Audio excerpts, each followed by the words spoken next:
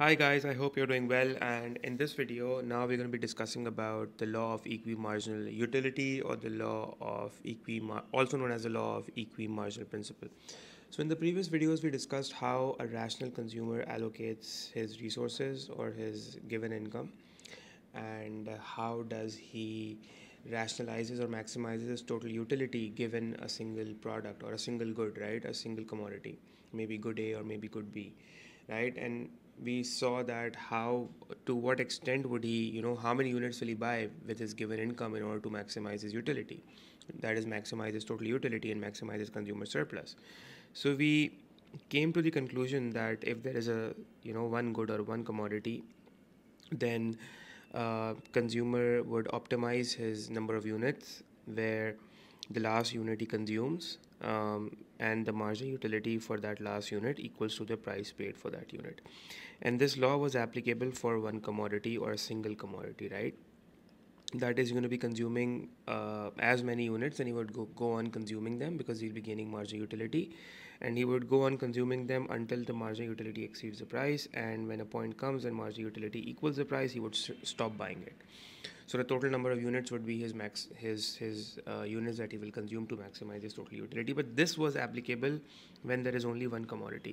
Now guys what if there are two commodities? What if there are two goods? Let's say that he has a limited income let's say of $10 and now he has to buy two goods that is good A. He, he needs to allocate his given income between two goods that is good A and good B good good A and good B could be anything maybe ice cream and chocolates or whatever so so if with a given income we need to allocate resources in such a way that we can optimize the consumption and if we want to buy some units of good A and some units of good B. So how many units of good A and good B should we buy in order to maximize our total utility that has been gained from good A and good B as a whole, right?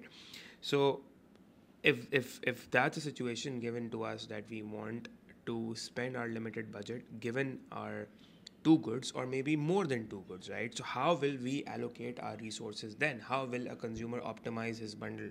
How will a consumer act rationally? How would he maximize total utility given there are more than one goods?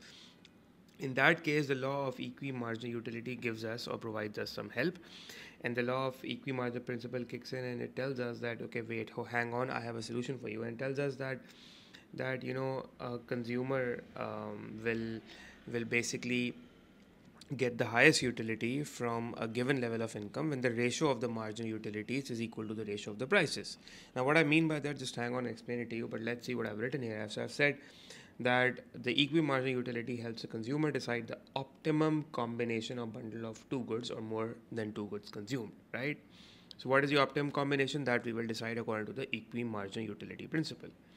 So this principle or this rule will only be applicable for more than one good, right? Two or more goods basically.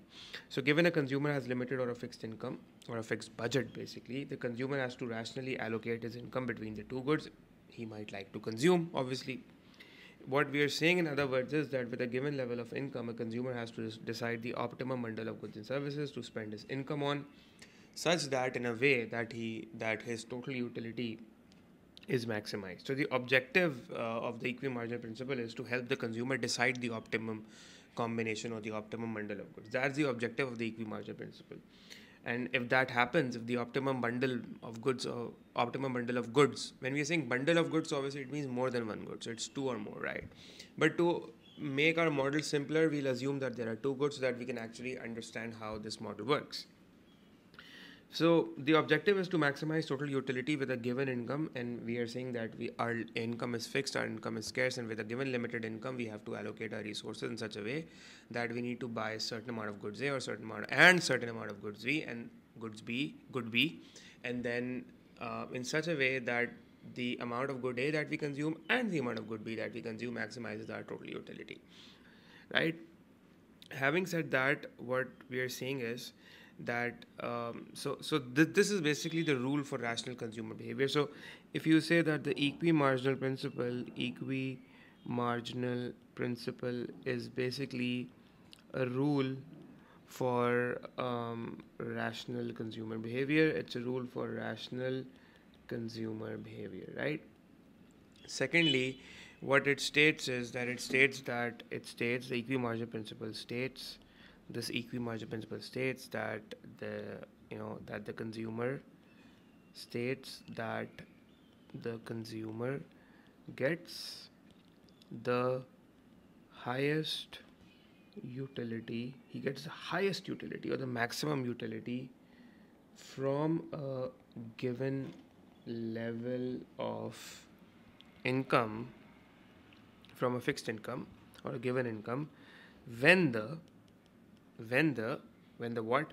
When the ratio ratio of what? Ratio of the marginal utilities marginal utilities basically when the ratio of the marginal utilities between the two goods when the ratio of the marginal utilities of the two goods that is good A and good B of the two goods is equal to equal to the ratio of the prices now I'm pretty sure that it doesn't make sense to you right now, but just hang on. Let me give me some time to explain this.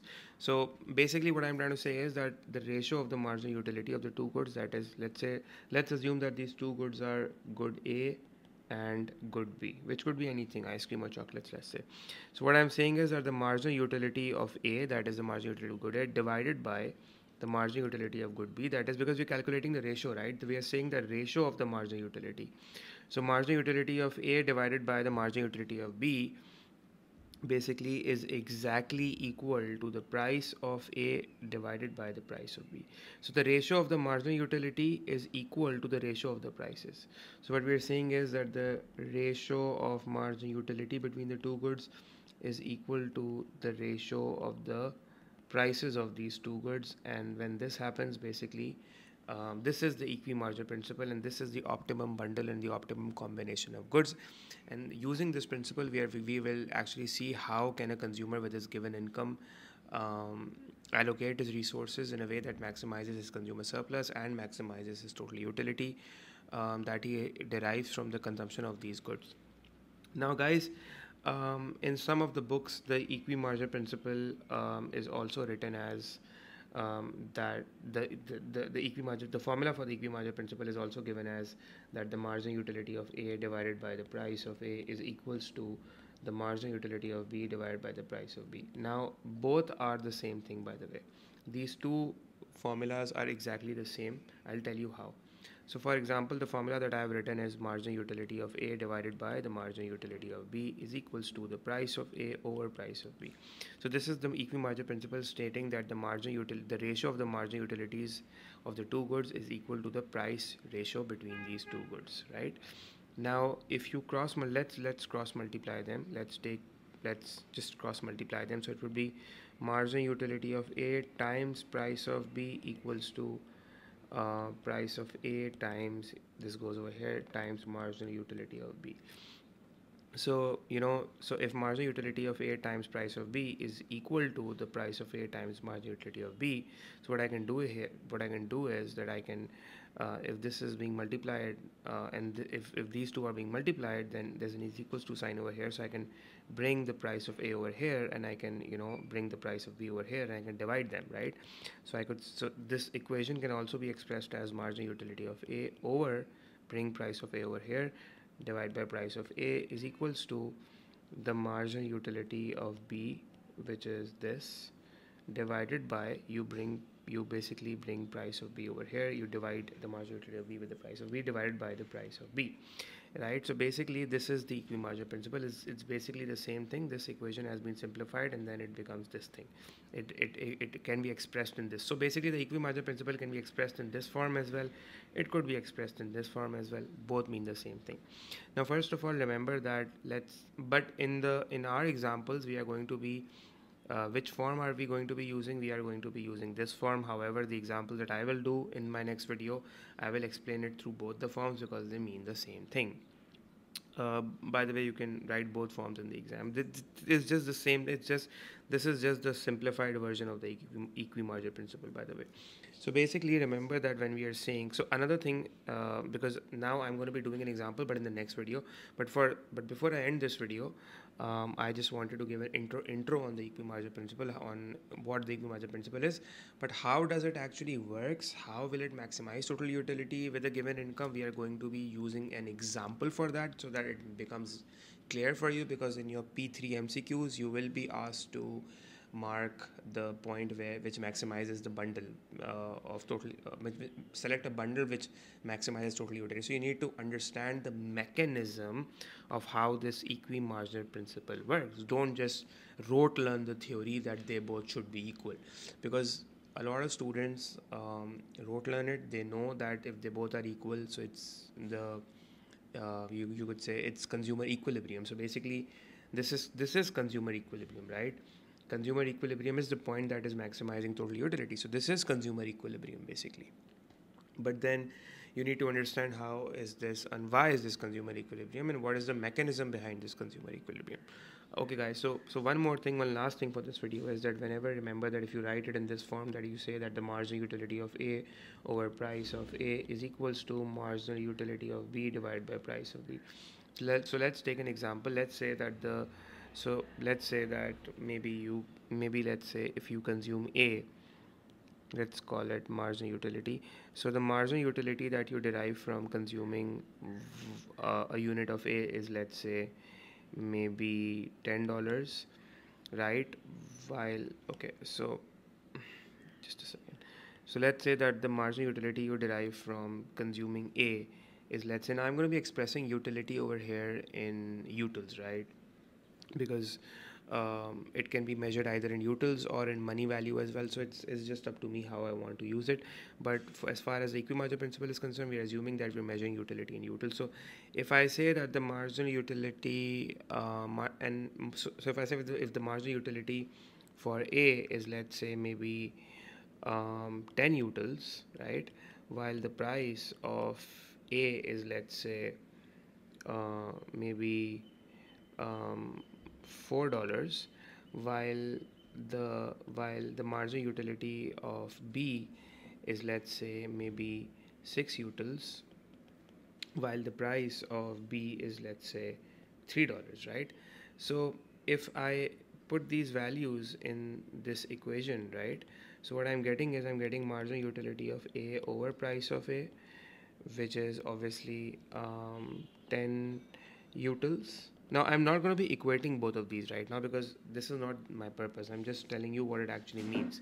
So if I if I put marginal utility of A over price of A, so it would be, it would be 10 utils divided by the price of A that is four dollars, and if I put the marginal utility of B over price of B, so it would be six utils over three dollars. So basically, um, you, you so, so so so basically what I'm doing is that the marginal utility of A over price of A that is 10 utils over four dollars gives me a value of uh, uh, 10 10 over 4 would I'm assuming it will give me 2 point um, sorry it will give me 2.5 utils per dollar right per dollar. And this would give me um, 2 utils per dollar. So this would give me this would give me 2.5 utils per dollar and this would give me 2 utils per dollar. So basically what we did over here is that when we divide the marginal utility divide by price of A, that is we are saying that the marginal utility derived from the consumption of one unit of A is 10 U utils, while the price I'm going to be paying for A is $4. And if I divide 10 by 4, so basically technically what I'm saying is that in order to gain a marginal utility of for A of 10 utils, in order to gain a utility of 10 utils by consuming one unit of A, I need to pay a price that is equivalent to four dollars. So paying four dollars would have helped me gain 10 utils, and paying three dollars would help me gain six utils. But then if I want to calculate how much is the price, how much is the amount of utility that I will gain by paying only one dollar, so what I need to do is that I need to divide 10 by 4 and I need to divide 6 by 3. So 10 by 4 is giving me 2.5 utils and this is giving me the utility per dollar. And 6 by 3 is giving me an answer of 2 utils and this is also giving me utils per dollar. So basically remember that this equation that when we say that the marginal utility of A is divided by the price of A we're actually calculating the marginal utility per dollar for A and the same applies with B as well. If I divide marginal utility of B with the price of B what I'm getting is I'm getting marginal utility sorry I'm getting marginal utility per dollar. That is for one dollar for B. Because I'm saying that I'm getting a utility of 10 utils uh, by paying four dollars four dollars gains me 10 ut- utils. So how much would one dollar gain me so if I divide them so basically technically I'm getting margin utility per dollar for A and then similarly margin utility per dollar for B.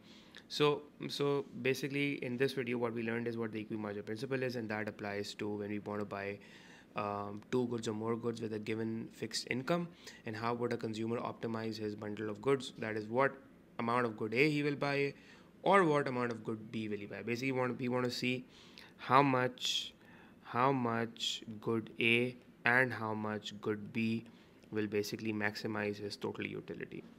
So it could be maybe two units of a and maybe one unit of b or maybe let's say two units of b or one unit of a. But whatever the case is or maybe three units of a or one unit of b that depends and we'll see this in the next um, example when we i will be explaining the whole mechanism behind this utility theory. But for this video understand that this is the equi-margin principle. It could be written in this form as well as simplified in this form as well. But this form is just telling us the marginal utility per dollar and it's it's basically telling us that if the marginal utility um, per dollar for A is equal to the marginal utility per dollar for B and when this happens that is the point where the consumer um, should stop substituting good A and good B and that is a point that basically maximizes a consumer's total utility and he should buy that amount of good A and that amount of good B, that amount of good A and that amount of good B, where where at a point where these two become equal. And when they become equal at that point that is a point where the consumer should stop buying or stop consuming because technically what will happen is that at once this point is achieved all of his incomes income or his limited budget will be exhausted. And that is a point where he has maximized total utility. But how does this process work? How will this actually work? We'll see that in the next example video. So guys i hope you enjoyed this video. I'll see you all in the next video. Until then take care